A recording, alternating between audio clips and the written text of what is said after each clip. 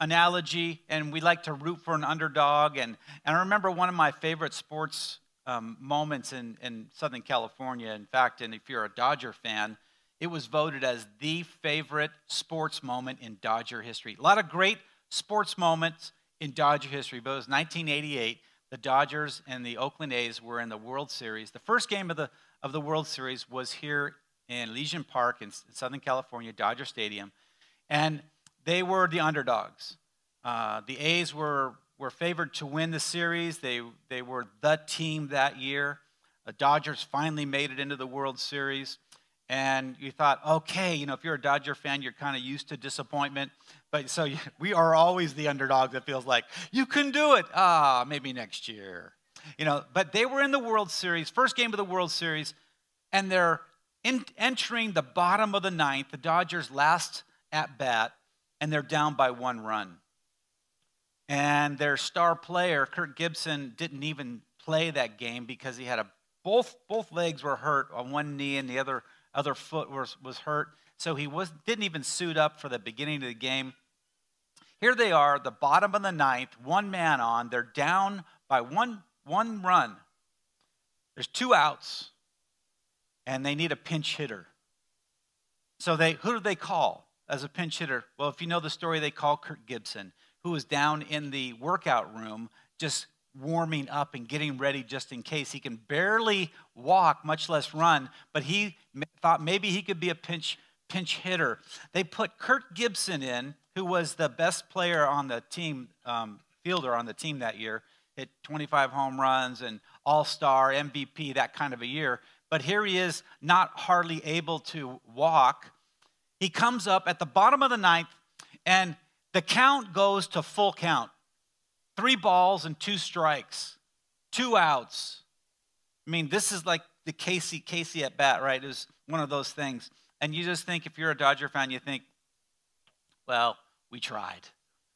You know, we, we tried. And then the last pitch, Kirk Gibson leans over the plate and swings a, le- a lefty. He was lefty. And it didn't even look like he hit the ball hard, but the ball ends up in the right field stands. It's a home run. The Dodgers win the game. The first game of the World Series. They go on to win the series. The momentum of that game kept them going throughout the World Series. They won the World Series. In fact, there was so much noise when Kirk Gibson hit that home run that uh, Kay and I were um, living in Echo Park at the time, about a mile from the stadium. We could see the stadium from our apartment building and the noise continued for a good five minutes. It just was nonstop. It was this, this roar that wouldn't, wouldn't go away. And it was so exciting because the underdog, the underdog team, the underdog player came from behind, and everyone loves an underdog. And this morning, I'm here to tell you about the greatest underdog of all time. You know, when, when the nation of Israel was looking for a Messiah, they were looking for the promised Savior who would come. They were looking for a strong king, probably a political figure, but someone who was um, dynamic and strong and maybe was very wealthy, someone who would con- conquer. Maybe he was going to be a warrior king. He could conquer the Roman Empire who was oppressing the Jews. And they were looking for a, a certain kind of king. And when Jesus showed up on the scene, he didn't fit any of those prerequisites, didn't fit their mold of what the king would be. Jesus was the ultimate underdog. Before Jesus even was born, he was prophesied to be born in Bethlehem. And when the three kings came, or the wise men, I don't know if they're three or not, when they came to Bethlehem looking, they talked to Herod. They says, Where's the king born? And Herod got freaked out. He said, Oh, he's tell me when you find out where he is. I want to worship him too. But really, Herod made, a, made an agreement. He made an agreement with the devil. He didn't even know it. It was to kill all the male boys two years and younger in the city of Bethlehem who were born. He wanted to snuff out, the devil wanted to snuff out Jesus before he even got started, but Jesus did survive. His parents took him to Egypt, and a couple years later, they brought him back to Nazareth. When he grew up and be, before he ever did a miracle, before he ever did any kind of public ministry, the very first thing he did, well, he got baptized and then he went into the wilderness. The Bible says, and we'll see it in, in Matthew chapter 4, that he was he fasted for 40 days and 40 nights. And there was something that happened with this encounter that, with the devil that solidified who Jesus was, who, what he was about, and what it was that was going to make him the king, the real king, the promised one, the one who would crush the head of the devil, the Messiah, the anointed one who would heal the sick and raise the dead, the suffering servant who would shed his own blood for the sins of the world, the lion of the tribe of Judah, the one who would be the king over all kings, the Son of Man, the one who would be born a man to be the king of all man, that Jesus. He met with the devil. Matthew chapter 4, verses 1 and following. It says this Jesus was led by the Spirit into the wilderness to be tempted by the devil. After fasting 40 days and 40 nights, he was hungry. The tempter came to him and said, By the way, this is what the devil will do. He, he will tempt you, he will test you, he will try to get you off track when you are in a place of weakness. He won't get you when you're in the middle of a church service. He'll get you when you're alone. He'll get you when you're tired, when you went through a sickness, when, you, when you're maybe facing unemployment, when your house is un, uh, it's in chaos. When you're weak, that's when the enemy's going to come. We're going to see this morning three things that characterized the leadership that made Jesus the leader who he was. The tempter came to him and said, If you are the Son of God, tell these stones to become bread. Jesus answered and said, It is written, Man shall not live on bread alone, but on every word that comes from the mouth of God. The one the first principle is this, it's the principle of dependence. You see Satan wanted Jesus to be independent. Hey, if you're hungry, just make your own bread. You can do it if you're really all that. You don't need anyone. You don't even need God. You could do it. Whatever you need, just go ahead and get it. That was the lie. Jesus said, Man shall not live just by bread, but by everything that comes from God. He was talking about dependence, and he, was dependent.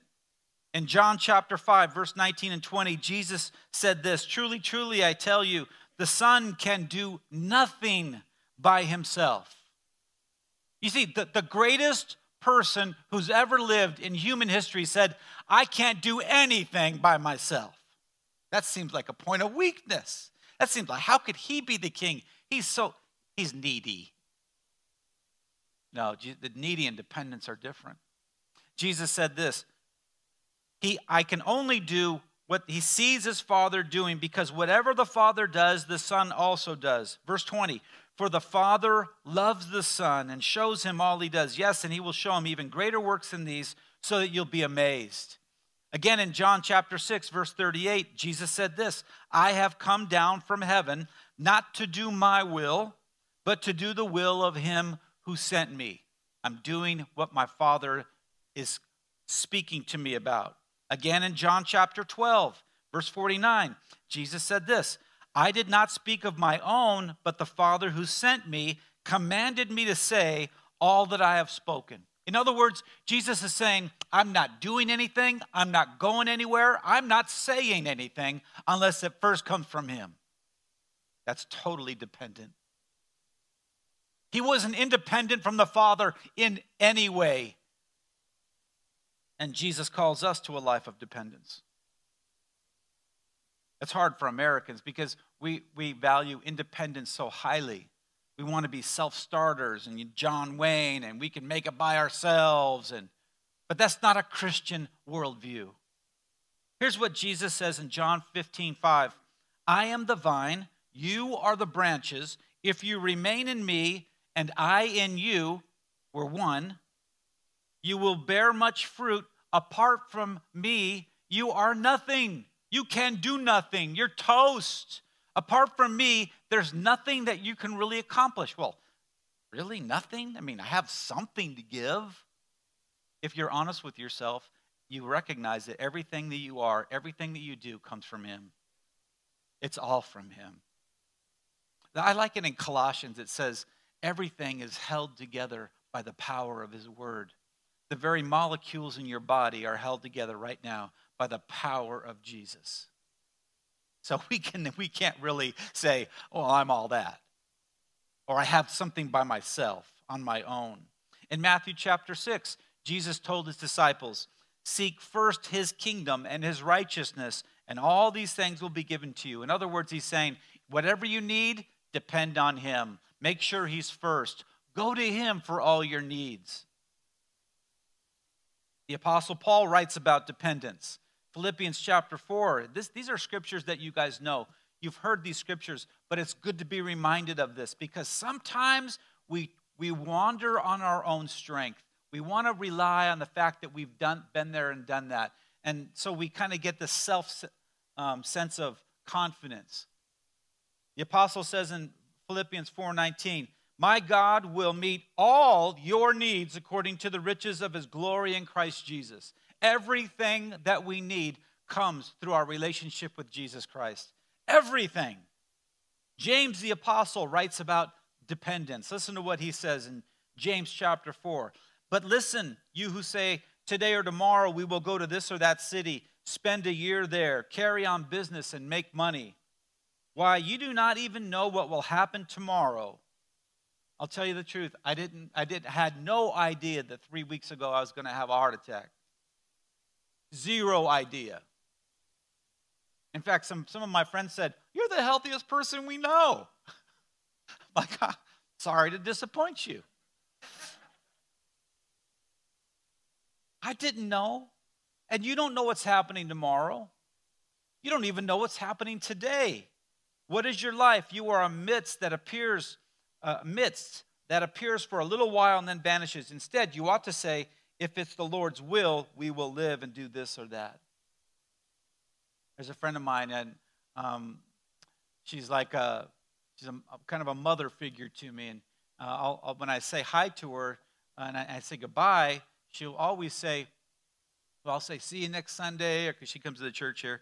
And I'll, I'll, say, see you next Sunday. And she goes, if it's the Lord's will.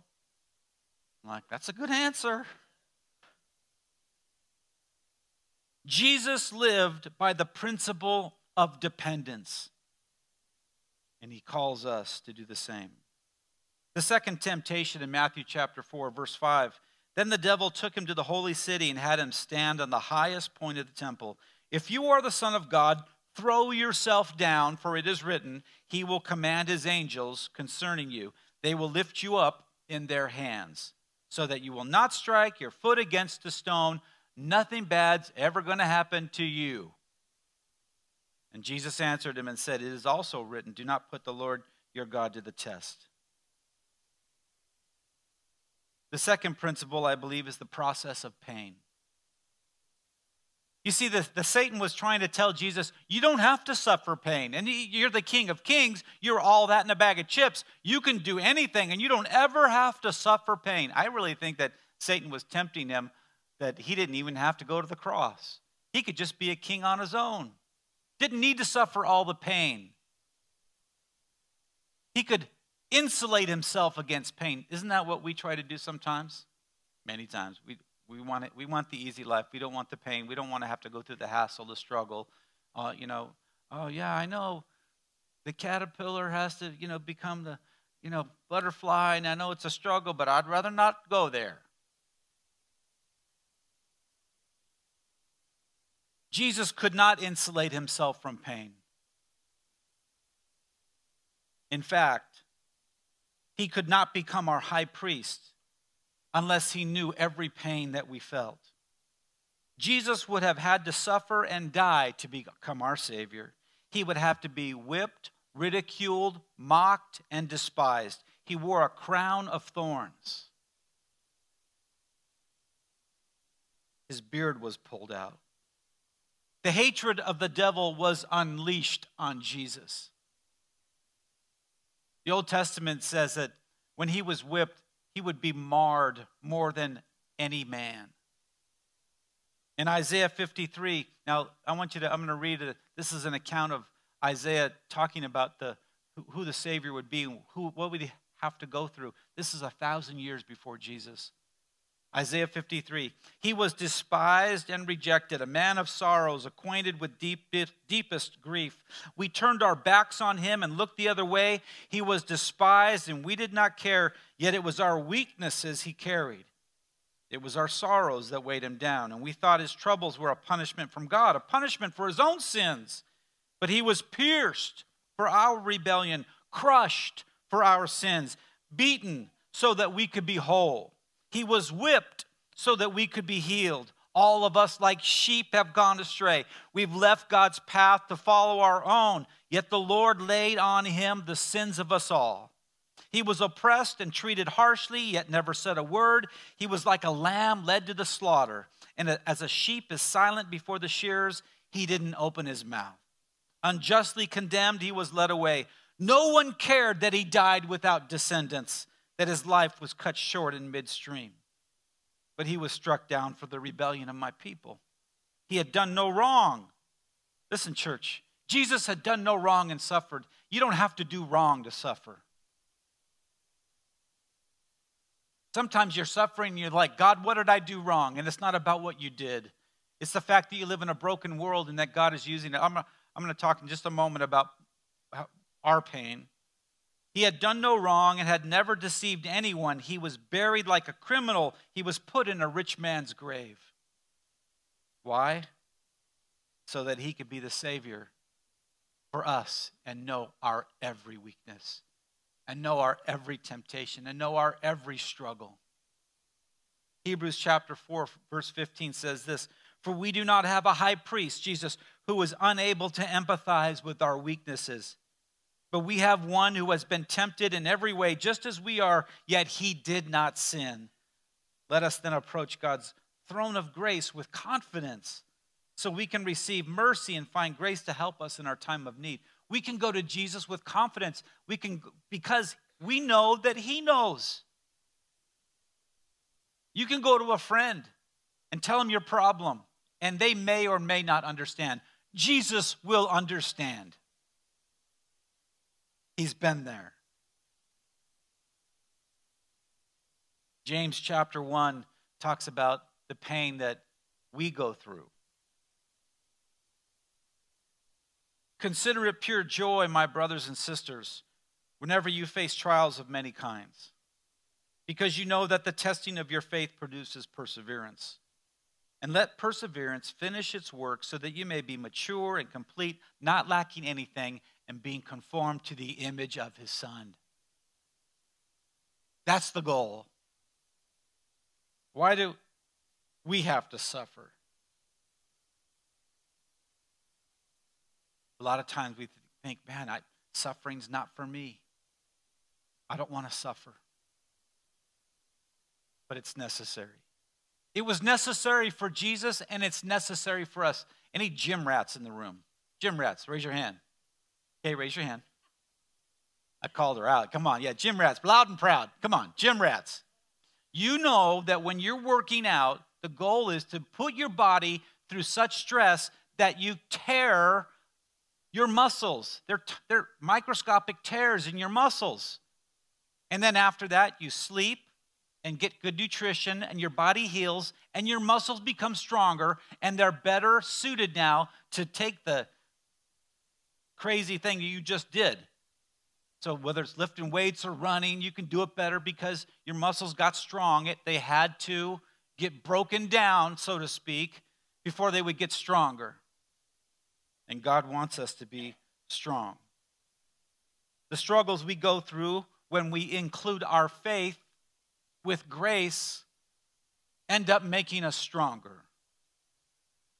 And God wants an army of men and women who are strong in the Lord, who are overcomers, who are champions, more than conquerors in Christ. And for that, we have to go through pain.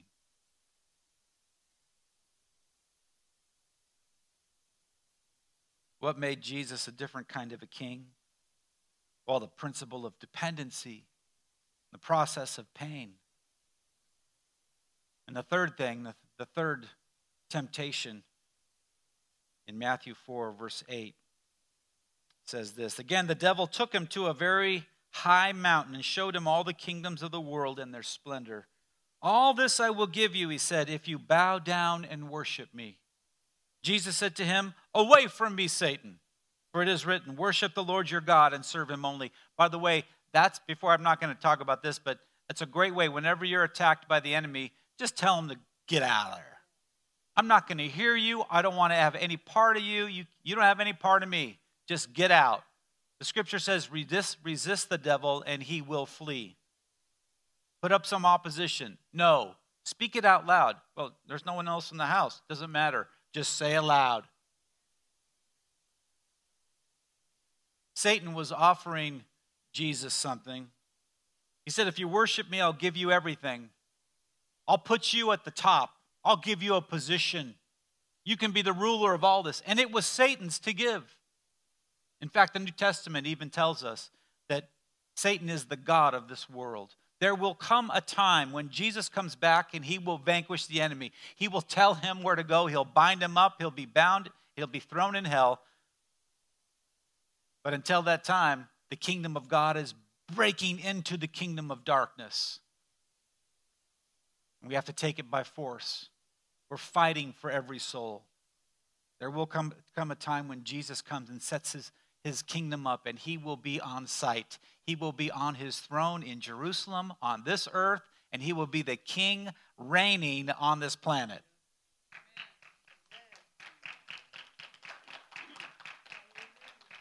The devil thought that he wanted he'd be tempted by just stuff. All the kingdoms of the world, all the splendor, all the stuff. And Jesus wasn't going to the cross for the stuff. The stuff, the lands, the possessions, the kingdoms of this world. The world says, the world, the world thinks this way. If you want to be great, you're going to have a lot of stuff. And if you look at the great rulers of the world, the great rulers of nations, they're very rich, men and women, very rich, very wealthy, have a lot of stuff. But Jesus was going to lead another way. Worship the Lord, your God, and serve him only. There's something about that answer that Jesus says, there's something powerful about that because we become what we worship. We become like what we worship, what we adore, what we set our hearts and minds on. That's what we become like.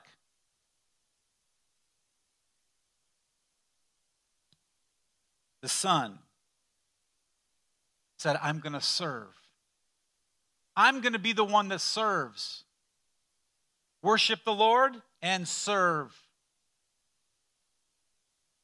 The Son is in communion with the Father, and the Father and the Son, they are one. Jesus said, If you've seen me, you've seen the Father. There was a communion there. Serving.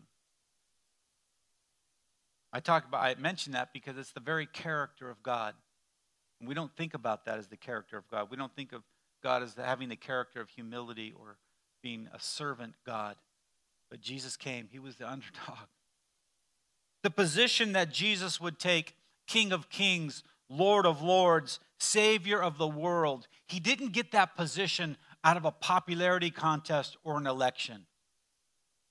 Jesus wouldn't become the King of Kings by taking a leadership class at the junior college. He wouldn't get it that way. Jesus became the king through serving. He served. It's not stuff that leads to significance, it's serving. Jesus wasn't making a kingdom out of buildings and wasn't after fame or fortune. Jesus' kingdom was simply this it was you and I. He was building a kingdom of people, and he was building a family, serving leads to significance. Godly power comes through humility. Jesus tried to talk to his disciples, near the end of his life in Matthew chapter 20, there was a, a, a little, you know, teachable moment. James and John were two of the disciples, and James and John had a mom who was interested in their lives. Moms, any moms here interested in your children's lives? Amen. You should be. But this mom went up to Jesus and said, Hey, Jesus, sidebar, um, is it possible that my two sons could be on your right and left? and, and help when you come into your kingdom? Can they be like, really, they're awesome? You know, you've been with them for a couple years now. And I know they have a lot of potential. And I don't know uh, all that went on in that conversation, but I do know that the other disciples heard about it and they started in. Well, they're not all that. What about me? I can imagine Peter, you know, like, I walked on water. you know. Oh, they had a rift. And Jesus uses it as a teachable moment right when they're at each other's throats. Matthew 20, verse 25. Jesus called them together and said, You know that the rulers of the Gentiles lord it over them, and their high officials exercise authority or domination over them. In other words, he's saying the rulership that you've seen modeled in this world is a dominating leadership. It's telling people what to do, it's taking advantage of people, it's being large and in charge. And Jesus says in verse 26, Not so with you. Instead, whoever wants to be great among you must be your what? And whoever wants to be first must be what? Your slave. Just as the Son of Man did not come to be served, but to serve and to give his life as a ransom for many. Jesus identifies himself at the beginning of his ministry as the servant, and he follows through with it. If you ever think of yourself, like think, what kind of position uh, do I want? What kind of title do I really want to aspire to? And there's nothing wrong with that. But think also, how is it that I can serve God and serve people in that thing that you put in my heart?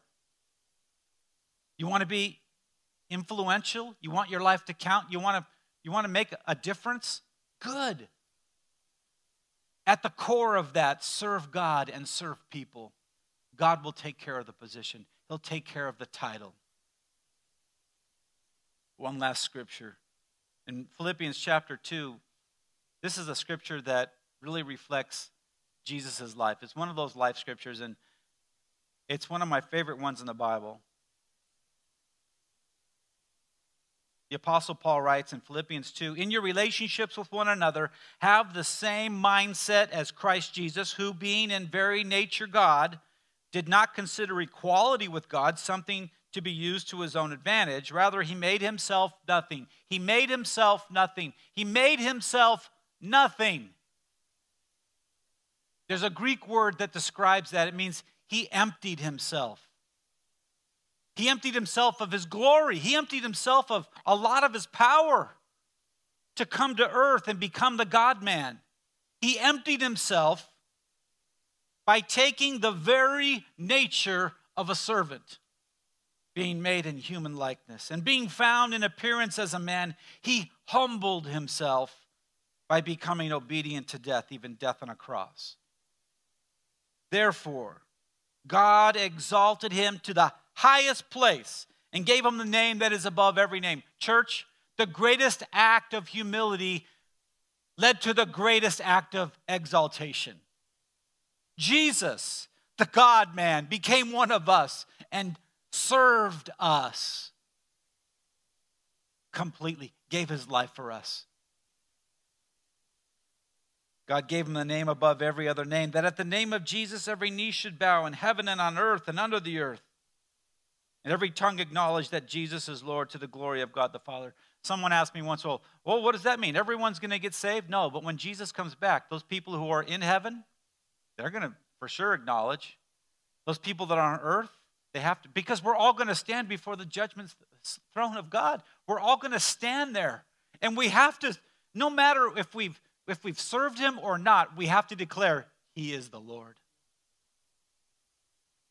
The people on the earth, the people alive at that time, the people under the earth, people who have died, they're all going to have to say, He is the King. If you focus on serving God and people, God will take care of the position. Jesus was the ultimate underdog, the anti leader. Dependent on the Father, embracing pain, serving his way to be the Savior. and He calls us to do the same. The goal is for us as believers in, in, in Jesus is to be conformed and transformed by the renewing of our mind. We're going to be conformed into his image. He wants to make us like him. And so we become dependent. If we want to become strong, we've got to recognize that we're weak. We have to become completely dependent. We have to come to the point where we say, I don't want to go outside today without Jesus. I don't want to go outside. I don't want to get on the freeway for sure without Jesus. But I don't even want to go through this life. I don't not one day. Not one day without a relationship with God. I need to be completely dependent upon him. I don't mature into a place where I don't need him anymore. Maturity really is greater dependence. Secondly, he wants us to embrace the pain. And I'm sorry, I hate to even say that, but it's true. Embrace the pain. Not masochism, but it's a process that God is working through in our life. It's a process of pain that He uses to transform us. God makes diamonds, but He's got to use pressure. The process of growing strong, being conformed into His image, maturing through pain. And he wants us to serve, to lay our lives down, to count other people as more important than ourselves. That's real maturity. Dependent on the Father, embracing the pain, serving our way to position. Have you given your life to Jesus? Have you completely surrendered to Him? I mean, given it all. It, don't, it only works when you give it all, by the way. If you've said, uh, I kind of, I, I said I was going to follow Jesus, but then you did your thing during the week and you came to church on Sunday, and like that didn't work out good. That week didn't work out so good. It's just giving him total control. Take my life, take everything, Lord, and use it for your glory do what you intended. When I was when I was created, you had an intention. Do that, Lord. Submit myself to your process. Would you pray with me, church?